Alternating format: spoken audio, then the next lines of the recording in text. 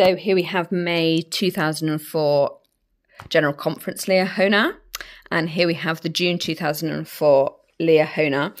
Um, the regular size Liahona is about 48 pages. So this is the June version, which I got before May's because May is the general conference issue. And um, let's just see how many pages this one has, just for reference. Um, 144 pages. Also, very nice picture of the Quorum of the Twelve Apostles because we've got the first um, British slash English apostle there. Um, could it be something to do with the Archbishop of Canterbury being called the apostle to the English? Possibly, possibly, because that got mentioned in the prophet's book. Anyway, moving swiftly on. So as you can see, this is 48 pages. This is 144 pages. It goes into great detail, which is nice for those that like deep diving, but for those that find general conference overwhelming, and it can be, this is just get a nice summary. Always like that. So you get morning, Saturday morning, Saturday afternoon, Saturday evening, Sunday morning, Sunday afternoon, and then conference talks are available obviously on the website as a video, and you can also read them there.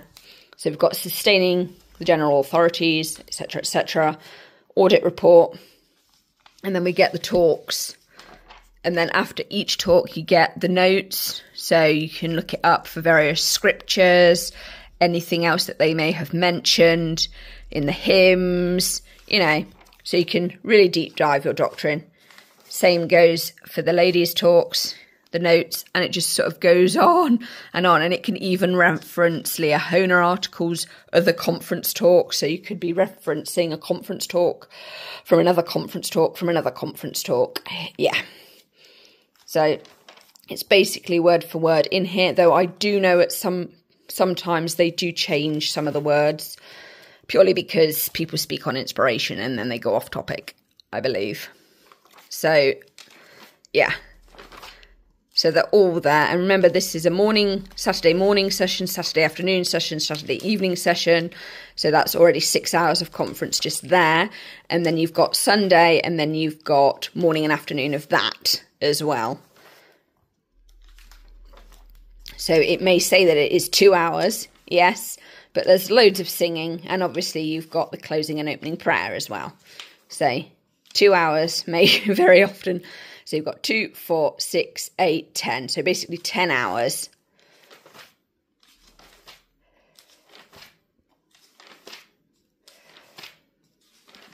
See if we can get this video in under five. We probably won't. Under five minutes. So, first presidency, Quorum of 12 Apostles, presidency of the 70, presiding Bishop, bishopric, so they deal with all the tithing, Relief Society, Sunday School, Young Women's, Young Men, and Primary down at the bottom. And then you've got the general authorities of the 70 as well. These change quite regularly for a whole variety of reasons and personal circumstance. So these are the people that lead and govern the church. Basically,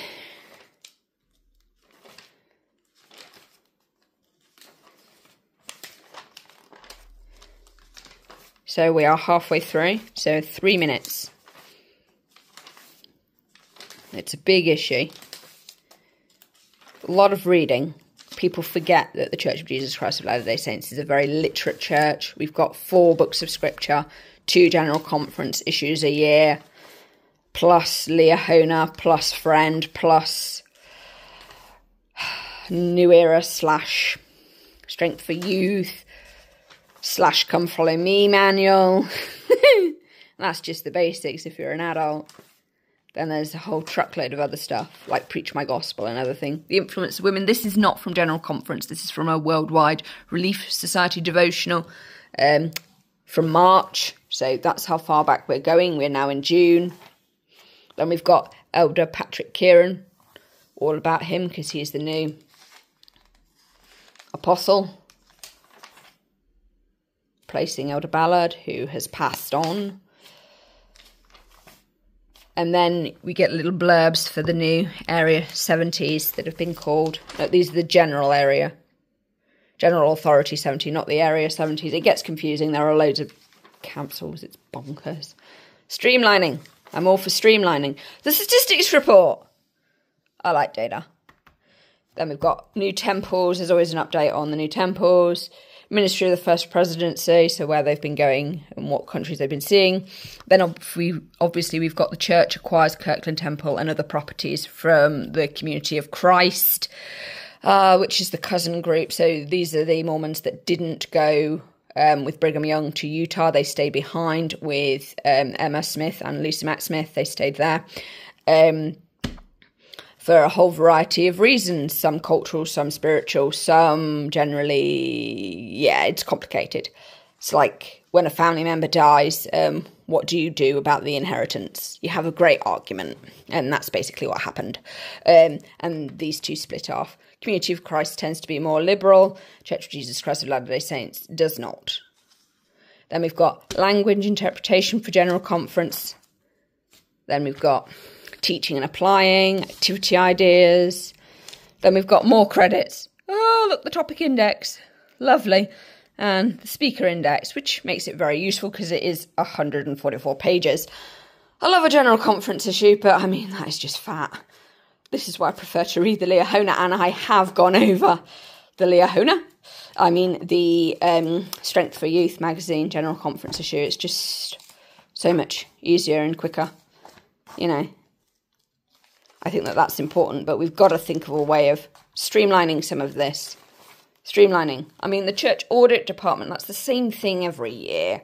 I know it's got to be included, but come on. Streamline, streamline, people. We've done it with Come Follow Me. We've got to streamline everything else. Because look. There you are. Ah. Liahona. And then scriptures, then talks. Yeah. Because it, yeah. So this is basically the end of the video. So this is the May Liahona. This is the June Liahona. Yeah. Also in regular Liahona, there tends to be more spacing between stuff, so it does make it easier to read. You know, and more accessible. So you've got nice contents and then so on and so forth.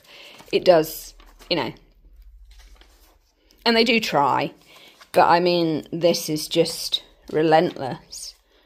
And they do try with the pictures and stuff from General Conference, but it is so crammed and it's three column, whereas this tends to be only two column, which does make it more accessible and more readable, to be fair. And I think they've got to look at that. See, that's the three column one, but that's rare.